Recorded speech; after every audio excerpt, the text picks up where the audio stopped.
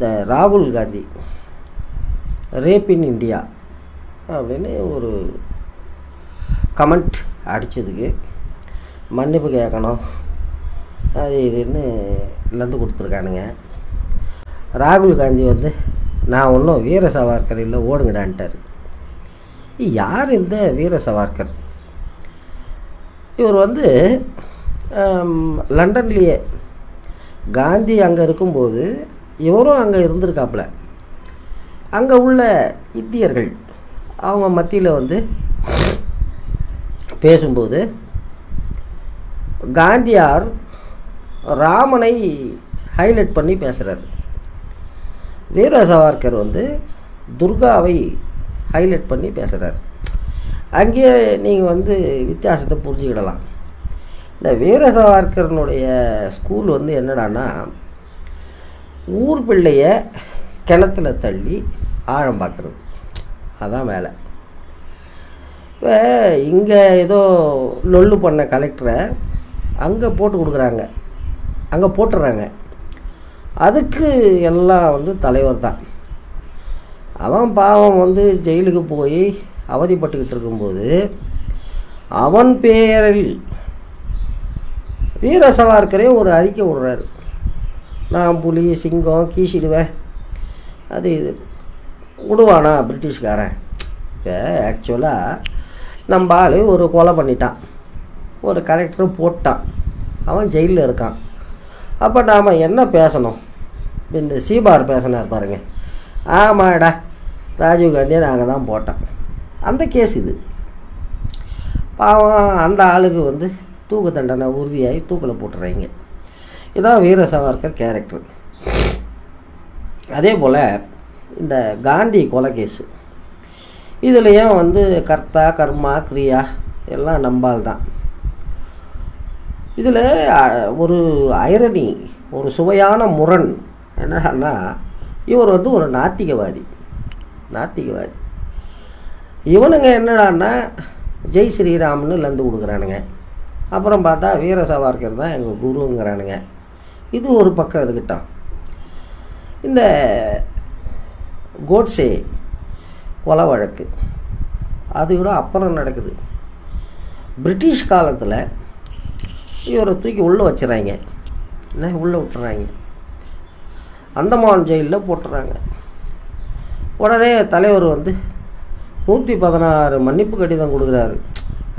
மன்னிப்பு கடிதம் கொடுத்தா மன்னிப்பில் வந்து எத்தனையோ இருக்குது நம்ம ஆள் எழுதியிருக்கிற லெட்டர்லாம் பார்த்தீங்கன்னா நீங்கள் அப்படியே மெர்சல் ஆகிடுவீங்க எனக்கு வந்து நிறைய ஃபாலோயிங் இருக்குது. நான் வந்து உங்கள் ஆட்சிக்கு விசுவாசமாக இருப்பேன். நான் உங்களுடைய வேலையாள்.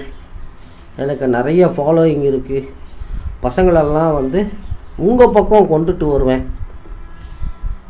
படுத்தே விட்டான் ஐயாங்கிறாங்களே அந்த கேஸு இதில் கூத்து என்னடான்னா வீர சவார்கரை பற்றி ஒரு புக்கு வருது.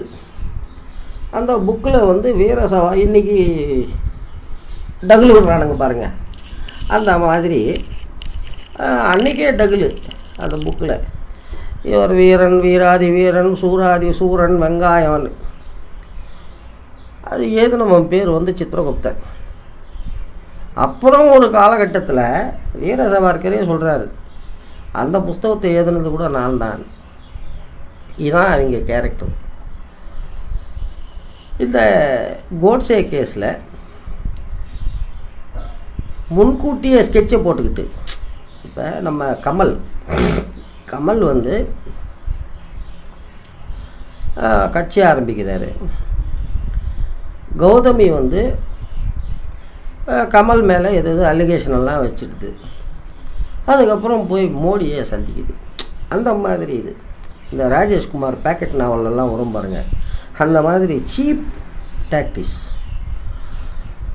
கோட்ஸேவை வந்து கோட்ஸே இந்து மகாசபாவிலிருந்து விலகிடுறாரு. என்ன விலகிடுறாரு? இந்த கோட்ஸே கோர்ட்டில் வந்து ஒரு வாக்குமூலம் கொடுக்குறான். அந்த வாக்குமூலம் அதனுடைய அந்த எழுத்தாக்கம் அந்த ரைட்டிங் ஸ்டைல் எல்லாம் வந்து நம்மளோடது. நம்மால் எழுதி கொடுத்துருக்காப்புல. அந்த மாதிரி கேஸ் இதெல்லாம் இதில் வந்து வீர சவார்கர்னா வந்து இன்னும் யாரோ ஒருத்தர் சொல்லியிருந்தார். அவர் எம்பி கூட இல்லையா? தந்தி டிவியில் சும்மாவே எம்பின்னு போட்டு விட்ருக்கானுங்க இதுதான் சரித்திரம். என்ன? இதுதான் சரித்திரம். இதில் நீங்கள் இந்த மேட்ரு அடிக்கடி சொல்லியிருப்பேன். ரூபா நோட்டில் ஒரு பக்கம் காந்தி தாத்தா பொம்மை இருக்கும். பின்னால் பக்கம் திருப்பினீங்கன்னா கண்ணாடி மட்டும் இருக்கும். அந்த கண்ணாடியை பார்த்தீங்கன்னா இது காந்தி தாத்தா கண்ணாடி அப்படின்னு நினைப்பீங்க. இந்த உச்சா பாரத்தோ சுச்சா பாரத்தோ வந்து பாருங்க. அதில் கூட அந்த கண்ணாடி பொம்மை இருக்கும். நீங்கள் கூகுளில் போயிட்டு வீர சவார்கர்னு தேடி பார்த்தீங்கன்னா தலைவருடைய மூஞ்சி தெரியும். மூஞ்சியில் அந்த கண்ணாடி தெரியும். சிம்பாலிக்காக சொல்கிறாங்களாம் ஏன்னா நேரில் சொல்கிற அளவுக்கு வரலாறு இல்லை. என்ன? வரலாறு இல்லை. நம்ம ரஜினி பாட்டு ஒன்று வரும். இந்த அண்ணாமலையில். உனக்கு என்ன வரலாறுன்ட்டு. அந்த மாதிரி வரலாறு இல்லாதவனுங்க வந்து என்னடா பண்ணுறானுங்கன்னா பொய்யான வரலாறை உருவாக்குறானுங்க. ஆனால் ஹெட்ஸ் ஆஃப் டு ராகுல் காந்தி.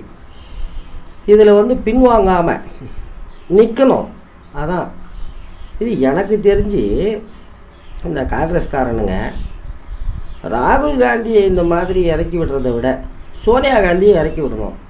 அதில் நிறைய உள்குத்து இருக்குது நிறைய உள்குத்து இருக்குது பார்ப்போம். நன்றி வணக்கம். சித்தூரிலிருந்து முடியும்